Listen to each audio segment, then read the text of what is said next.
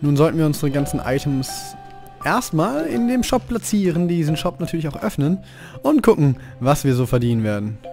Ähm, ich hätte es erst platzieren sollen, nicht Ödel. Aber ich bin ja ein immer sehr zeiteinsparender Mensch. Da passt es ganz gut. So, 4000. Aber für die haben wir noch keinen Preis. 5000 ist aber ein Schnäppchen. Äh, 4000 ist ein Schnäppchen. 6000 machen wir dann da draus. Du gehst für 8000 weg, das ist gut. Für 7000. Dich weiß man nicht. Machen wir da drüben rein. Dich weiß man auch nicht. Probieren wir es erstmal aus. Ich denke aber schon so 10.000. Weil du bist eine Spannungsquelle. Das, ist, das hört sich sehr gut an. Dich weiß man immer noch nicht. 2000 ist äh, 1750 vielleicht, ne? Sowas. So dumme Preise halt. Wechselstromadapter, du bist, gehst bestimmt auch für 8, 8000 weg. Die habe ich nur einmal bekommen bisher. So, und dann wollen wir hier noch so Drähte reinmachen. Jetzt verdienen wir ja natürlich auch Geld. Ne? Das muss man ganz klar sagen, wir verdienen jetzt nochmal einiges mehr an Geld. Kunststofffolie, das muss ein unglaubliches Material sein. 2000. So. Warte, du musst jetzt ganz kurz auf mich warten, bitte. Ich möchte hier echt niemanden irgendwie in Frage stellen. Ich möchte nicht, dass du damit jetzt abhaust mit dem, was du da gerade kaufen möchtest. Aber ich muss gerade wirklich ganz kurz Sachen sortieren. Ich komme sofort an die Kasse. Puh. Haben wir gut gemacht. Und der macht Quest abgeschlossen. Und der hat jetzt einen spottbilligen Preis gemacht mit 10.000. Habe ich das gerade richtig gesehen? 10k ist dafür easy. Verarscht mich nicht. Kauft ruhig weiter ein. Das ist viel zu teure. Ich meine natürlich super billige Zeug, das wir... Es ist alles im Angebot. Alles sehr preiswert. Kaufen Sie nur ein. Ich freue mich immer wieder, wenn Sie uns besuchen. Ja, ist ganz klar. Sie sollten halt auch irgendwas mitnehmen. Sie können ja einfach durch den Laden laufen und nichts einkaufen. Also können Sie schon, aber das ist wahrscheinlich auch spottbillig. Ja, fuck. Gut, das hat sie gemacht. Was wollte der Shopliften? Oh, ich, ich weiß nicht mehr, was der Shopliften wollte. Ah, die Batterien. Fiesling. Fiesling. Ja, ich verkaufe ihm das gerne. War das jetzt ein guter Preis für die, für die Alu-Dinger? Wenn es, gut war, dann nehmen es doch hin. Das war auch gut. Die waren immer zu teuer. Kommt 1500. Das ist wahrscheinlich gleich zu billig, ich sehe es schon. Ich sehe es schon, dann kommen wir immer wieder, ah, ist doch zu billig. Und dann denke ich mir so, hm, Mann, hätte ich es halt teuer gelassen. Aber weiß man halt vorher nicht, ne? Kann man erst danach sagen. Vielleicht haben wir auch gute Items, die uns äh, weiterhelfen, unseren Handschuh zu, herzustellen. Jetzt schon, das wäre natürlich super gut. Dankeschön, Madame. Der wollte echt das teure Ding klauen? Boah, Fiesling. Der hat sich... Ah ne, der wollte die Batterien klauen. 13.000 war ein guter Preis. Dann nehmen sie alle mit. Brauche ich eh nicht. Nehmen sie ruhig mit.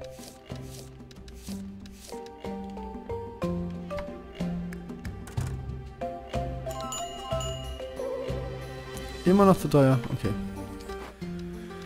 Da bin ich damit schon mal nicht in ein Fettnäpfchen getreten, sondern das war einfach nur ein Scheiß-Item. ist doch schön, ist doch schön, ne? Immer positiv sehen. Ja, nimmt die Drähte alle mit. Der hat mit der Flasche immer noch ein... Okay. Ich mach die Flasche jetzt nochmal für 10.000 rein. Kann ja nicht sein, dass die Leute hier sagen, es ist zu billig. Zu billig gibt's hier nicht. Alles teuer bei mir. Äh, spottbillig. Spottbillig. Ist natürlich... Wir, wir wollen ja Kunden erhaschen, ne? Ich will ja hier keinen verarschen. Das ist alles super Preise. Gell? Kaufen Sie ruhig ein, ne? Das ist überhaupt kein Problem. Nehmen Sie die vier, die Batterien, 40.000. Gibst mir das Doppelte, habe ich gleich 100.000 gemacht. Du genauso, alter Herr. Ja? Bam, 84.000. Kein Problem. Die Glassplitter sind jetzt auch gut. Gern doch. Nehmen sie, nehmen sie. Eh nichts wert, das heißt. Das? Ah, 100.000. Easy. Ist alles kein Problem. Jetzt nimmt der noble Herr, nimmt dann noch die, die coole Flasche mit, bin ich auch zufrieden. Ist das ein guter Preis dafür? Ja. Stellen wir den Rest auch noch rein, ne? 10.000 und dann sind wir alle zufrieden. Ich mach meinen Cash, du kriegst dein Cash. Ich habe gleich eine Million Geld, ne? Ich bin einfach eine reiche Sau. Ich muss jetzt langsam mal abheben. Es geht ja so nicht, dass so, so Fußvolk in meinen Laden reinläuft. Was ist das hier? Was ist das? Mann, oh Mann. Komm schon. Nimm auch das letzte bisschen meines Ladens. Kaufen Sie ein. Nehmen Sie mit. Äh, Sie, Sir, was haben Sie denn? Wüstenstahlbahn. Hammer hinten drin. Bin ich mir ziemlich sicher. Laden schließen wir. Jetzt guckt euch das doch mal an. Drei Shoplift-Versuche. Bam, 700.000. 700.000 haben wir geschaffen. Wow. Wow. Wir heben ja förmlich ab hier. Wir heben förmlich ab. Wir gehen durch die Decke. Wir machen so viel Cash, das ist unglaublich. Wir müssen jetzt erstmal... Wir haben gleich 100.000. Gibt bestimmt ein Achievement für 100.000. Mhm. Aber vorher... Ah, fuck. Nicht genug Zeug. Wie sieht es mit dem Bogen aus? Für den Bogen habe ich. Weg von der Merkliste und die setzen wir drauf. Ah, das Breitschwert wollte ich auch herstellen. Haha. das wird eh nichts. Ich kenne mich. Ich kenne mich. Ähm, ich hätte gern... Uh. Was haben wir denn für einen Helm? Ist das unser Helm? Ja. Scheint so. Dann hätte ich gern jetzt den besten Helm. Können wir auch von dem Merkzettel streichen. Das haben wir auch schon. Und wow. Haben wir gerade unser Outfit completed, sehe ich das richtig? Wir haben von allem jetzt das Beste. Wow. Ich bin so fasziniert von mir gerade. ich habe einfach gerade von allem das Beste. Und mein Outfit ist einfach, also mein, ich bin ausgerüstet.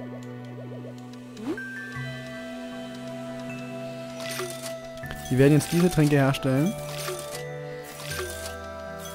So, da die einfach gerade mehr meinen Ansprüchen genügen. Kannst du mir noch was verzaubern, junge Dame? Ach, du kannst sogar alles verzaubern. Das ist ja unglaublich.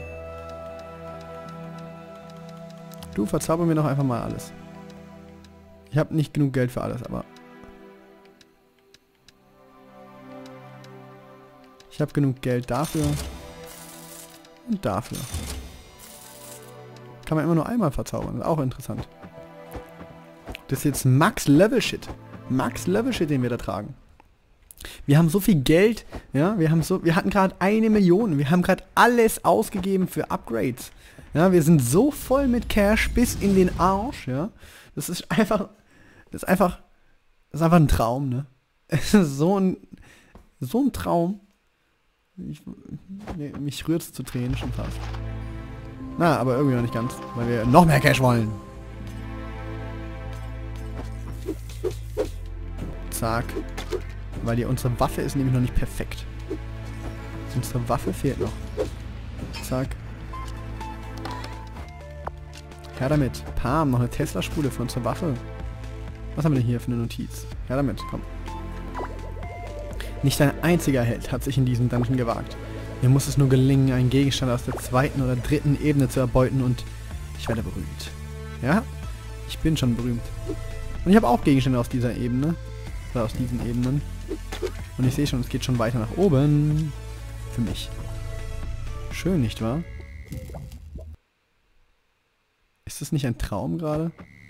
Ein Traum, der irgendwie wahr wird? Wir haschen so schnell durch diesen Dungeon, als wäre es ein Kinderspiel.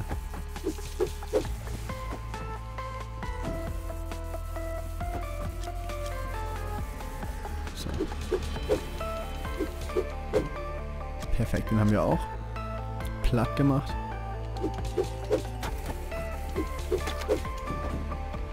Und ganz viele blaue Schleims. Immer gut für Heiltränke. Ich freue mich über euch, Jungs. Ich freue mich. Ich habe nur Angst, dass der Boss schwer wird. Wenn wir so gut durch den Dungeon... Ich glaube, wir sind noch nie so gut durch den Dungeon gekommen. Ich will jetzt auch nichts Falsches sagen. Also ich meine jedenfalls so meine bisherigen Einschätzungen. Aber ich habe Angst, dass der Boss umso krasser wird. Mit Blitzen von der Decke und also Zeug. Ich habe ein bisschen Angst. Aber ich bin auch zuversichtlich, dass wir gut vorankommen werden in diesem Dungeon. Einfach weil wir uns gerade schon so gut schlagen. Und es soll ja nie verkehrt sein, ne?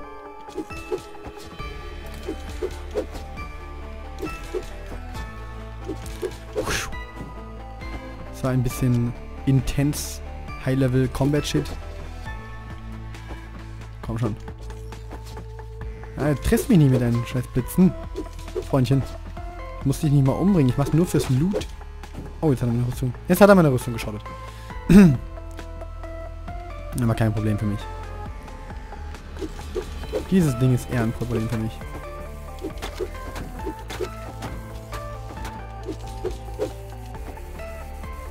Komm schon. Der ist aber auch super nervig, gell? Dass er einfach nur da steht und sein Leben genießt, praktisch. Die seltsamste blaue Energie dieses Dungeon erscheint überall. Sie fließt sogar durch die Wände oder durch Eisen. Nur Holz scheint sie aufhalten zu können. Hm. Sagt es mir irgendwas, dass ich eine Holzwaffe tragen sollte vielleicht? Ich weiß es nicht, aber ich habe auch keine. Deswegen, never mind, never mind. Uh, if so, we just fucked up. Noch ein bisschen mehr heilen. Perfekt. Weiter geht's. Wir sind auf dem Weg zur nächsten Ebene. Und diesmal nur ein blaue Energie Level Abteilung. Okay. Wir haben so ungefähr noch gar keinen Loot bekommen. Obwohl wir gerade sogar auf dem richtigen Weg sind, um in die höhere Ebene zu kommen. Und wir sind ja jetzt schon auf Ebene 2.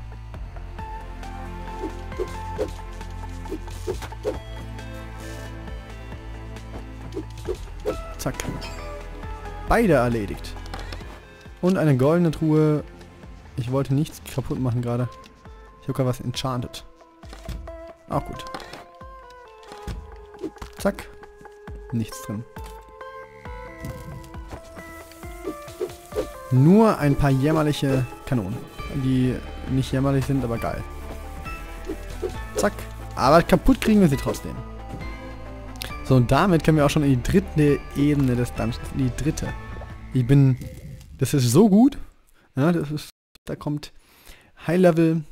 High Level Loot. Und High Level Loot heißt so much money. Stimmt, den soll man zuerst ausschalten. Wurde mir so von meiner selbst beigebracht.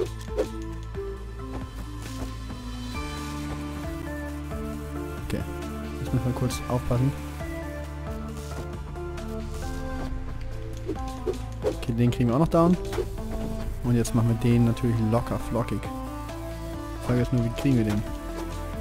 Autsch. Ich komme halt einfach auf deine Insel, auch wenn es mich umbringt halber. Ich wusste jetzt nicht, wie ich dich hätte töten sollen sonst. Ich kann was nach Hause schicken. Machen wir die doch weg.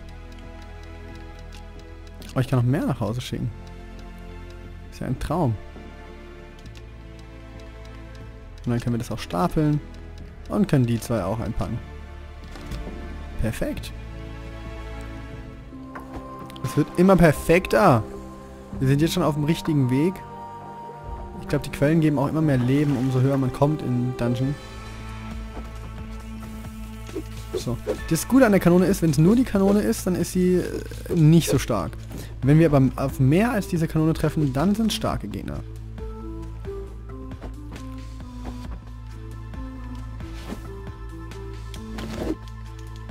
Na, jetzt hat er mich doch wieder. Genau das habe ich gerade versucht zu vermeiden. Scheinbar nicht so gut geklappt. Aber der macht ja gar nicht so viel Schaden. Wir hatten gerade volles Leben und der hat uns einmal verschlungen. Da ist wohl wirklich mehr der Aspekt des... Ähm, er ist da und hält, haltet uns fest, solange wer anders uns angreifen kann.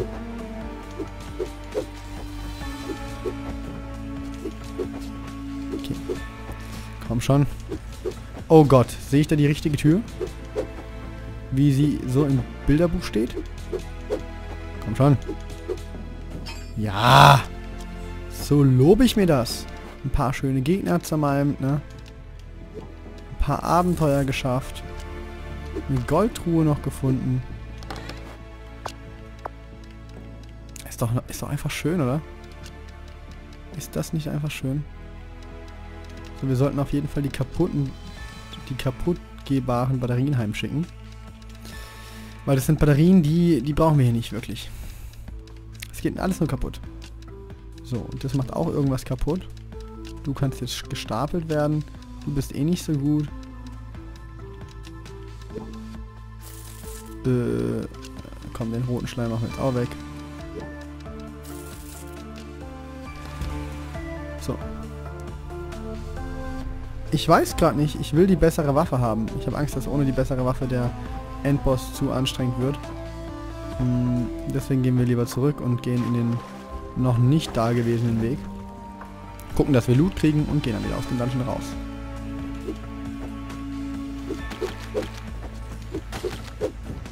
Cool, okay, so, die Taktik habe ich gerade noch nie gesehen, dass es so gut funktioniert, den großen Schleim umzubringen. Krass. Und zack. Du kannst was entzaubern, dann entzauber doch das mal, dann können wir es stapeln. Stapeln ist immer, immer gut. So, und dann können wir sowieso noch mehr stapeln. Ne, können wir nicht. Ähm, Fragil wird nach Hause geschickt. Das heißt, die schicken wir nach Hause. So, dann können wir das nämlich auch noch stapeln. Und das können wir auch stapeln. Du machst bitte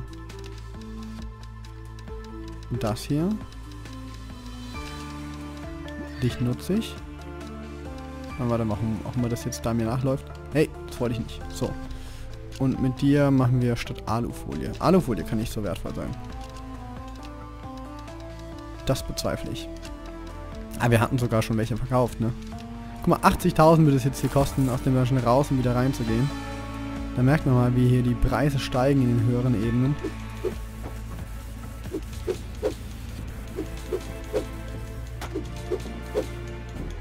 Ah, das hat auch gut funktioniert. Komm schon. Sehr stark. Okay, Drähte, die kann ich noch nehmen. Selbst die Drähte bringen ein bisschen Geld.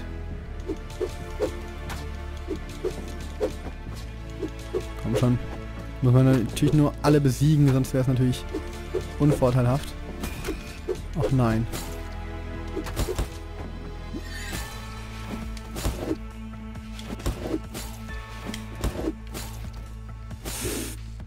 Oh shit. Dass das gerade so gut funktioniert, hat mich eher verwundert. Und gefreut zugleich.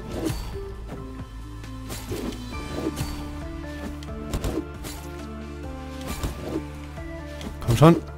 Das funktioniert viel zu gut gerade. Oh mein Gott. Ja. Loot. So viel Loot. Jetzt kann ich nämlich die Tränke einstecken. Und... Na, das muss jetzt weg. Zack. Jetzt können wir nach Hause gehen. Jetzt ist die Zeit gekommen, dass wir sagen können, wir machen nochmal den Shop auf und gucken, was wir denn so aus unserem Zeug alles Tolles erreichen können, oder? Klingt das nicht nach einem Plan? Denn vielleicht steigt unser Budget dann so ins Unermessliche, dass wir sagen können, hey, ab in den Dungeon.